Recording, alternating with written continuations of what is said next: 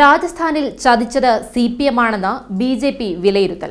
ജയ്പൂരിൽ ചേർന്ന B J P നേതൃയോഗത്തിലാണ് സി പി എം കർഷക സംഘടനയായ കിസാൻ സഭ നടത്തിയ പ്രക്ഷോഭം ബി ജെ പിയുടെ പരാജയത്തിനിടയാക്കിയതായി നേതാക്കൾ തന്നെ തുറന്നു സമ്മതിച്ചത്.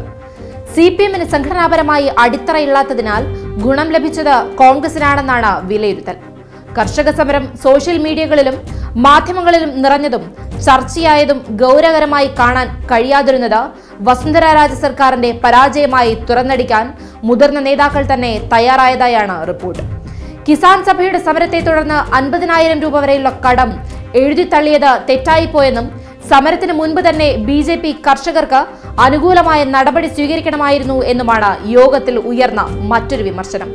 കർഷക സമരത്തിന് മുന്നിൽ തലകുനിച്ചത് കൂടുതൽ ഡിമാൻഡ് സമരക്കാർക്ക് ഉയർത്താൻ പിടിവള്ളിയായെന്നും ഇതാണ് കൂടുതൽ കർഷകരെ സർക്കാരിനെതിരെ തിരിക്കാൻ കാരണമായതെന്നും യോഗത്തിൽ പങ്കെടുത്ത ഒരു വിഭാഗം നേതാക്കൾ തുറന്നടിച്ചു. സി പി എം മുൻ വർഷങ്ങളിൽ നിന്നും വിഭിന്നമായി ഒന്നര ലക്ഷത്തിലധികം വോട്ട് കൂടുതൽ നേടിയതും രണ്ട് ബി ജെ പി സിറ്റിംഗ് സീറ്റുകൾ പിടിച്ചെടുത്തതും ഗൗരവകരമായി കാണണമെന്ന കാര്യത്തിൽ നേതാക്കൾക്കിടയിൽ ഒരേ അഭിപ്രായമാണ് ഉയർന്നത്. രാജസ്ഥാനിൽ ഭദ്ര മണ്ഡലത്തിൽ നിന്നും ബൽവാൻ ദുംഗ്ര മണ്ഡലത്തിൽ നിന്നും ഗിരിധർ ലാൽ എന്നിവരാണ് വിജയിച്ച സി പി എം സ്ഥാനാർത്ഥികൾ. ഇരുപത്തിയെട്ട് മണ്ഡലങ്ങളിലാണ് സി പി എം രാജസ്ഥാനിൽ മത്സരിച്ചിട്ടുള്ളത്. ഏഴോളം സീറ്റുകളിൽ നല്ല മത്സരം കാഴ്ചവെക്കാനും സി പി എമ്മിനായി. ധോത് ദന്താറാംഗഡ് റായ്സിംഗ് നഗർ എന്നിവിടങ്ങളിൽ വിജയിക്കാൻ സാധിച്ചില്ലെങ്കിലും അരലക്ഷത്തിലധികം വോട്ടുകൾ നേടി സി പി എം സ്ഥാനാർത്ഥികൾ എതിരാളികളെ ഞെട്ടിച്ചിരുന്നു. അധികാരത്തിൽ വന്നാൽ മുഴുവൻ കടങ്ങളും എഴുതിത്തള്ളുമെന്ന കോൺഗ്രസ് അധ്യക്ഷൻ രാഹുൽ ഗാന്ധിയുടെ പ്രചരണം കർഷകരിൽ ചെലുത്തിയ സ്വാധീനം തിരിച്ചറിയാൻ കഴിയാതിരുന്നതും സർക്കാരിന്റെയും ബി ജെ പി സംസ്ഥാന നേതൃത്വത്തിന്റെയും വീഴ്ചയായും യോഗത്തിൽ പങ്കെടുത്ത നേതാക്കൾ ചൂണ്ടിക്കാട്ടി. സംഘടനാപരമായ കെട്ടുറപ്പുള്ളതുകൊണ്ട് മാത്രമാണ് അധികാരം നഷ്ടമായെങ്കിലും വലിയ പ്രഹരമേൽക്കാതിരുന്നതെന്നാണ് ബി ജെ പി നേതൃയോഗത്തിന്റെ വിലയിരുത്തൽ. കർഷകർക്ക് അനുകൂലമായ നടപടികൾ അധികാരമേറ്റെടുത്ത ഉടനെ കോൺഗ്രസ് സർക്കാർ സ്വീകരിച്ചത് ഗൗരവമായി കണ്ട് കർഷക പിന്തുണ ആർജിക്കാൻ ആവശ്യമായ നടപടികൾ കേന്ദ്ര സർക്കാർ കൈക്കൊള്ളണമെന്ന ആവശ്യം ബി ജെ പി സംസ്ഥാന നേതൃത്വം ഇപ്പോൾ മുന്നോട്ട് വച്ചിട്ടുണ്ട്.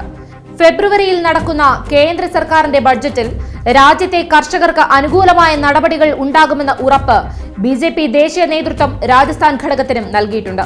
നിയമസഭാ തെരഞ്ഞെടുപ്പിലേറ്റ പരാജയം വിലയിരുത്താനും ലോക്സഭാ തെരഞ്ഞെടുപ്പിൽ സ്വീകരിക്കേണ്ട തന്ത്രങ്ങൾ ആവിഷ്കരിക്കാനും ആർ എസ് എസ് മുൻകൈയെടുത്ത സംഘപരിവാർ സംഘടനകളുടെ യോഗം ഉടൻ തന്നെ വിളിച്ചു ചേർക്കുന്നുണ്ടെന്നാണ് സൂചന. മോദി സർക്കാരിന്റെ രണ്ടാം ഊഴത്തിന് രാജസ്ഥാനും മധ്യപ്രദേശും കനിയേണ്ടത് അനിവാര്യമായതിനാൽ എന്ത് വില കൊടുത്തും കർഷകരെ ഒപ്പം നിർത്താനാണ് ബി ജെ പി ഇപ്പോൾ ശ്രമിക്കുന്നത്. മുംബൈയിൽ സി പി എം കർഷക വിഭാഗമായ കിസാൻ സഭ തിരികൊളുത്തിയ പ്രക്ഷോഭത്തിന്റെ കനലുകൾ കാവിക്കോട്ടയിലും ആളിപ്പടർന്ന ഇങ്ങനെയൊരു പണി തരുമെന്ന് സ്വപ്നത്തിൽ പോലും ബി ദേശീയ നേതാക്കൾ പോലും കരുതിയിരുന്നതല്ല. എന്നതാണ് യാഥാർത്ഥ്യം. പ്രതിപക്ഷമെന്ന നിലയിൽ കോൺഗ്രസ് തികഞ്ഞ പരാജയമായിരുന്നു എന്നത് മാത്രമാണ് ബി ജെ പി മുഖവിലക്കെടുത്തിരുന്നത്.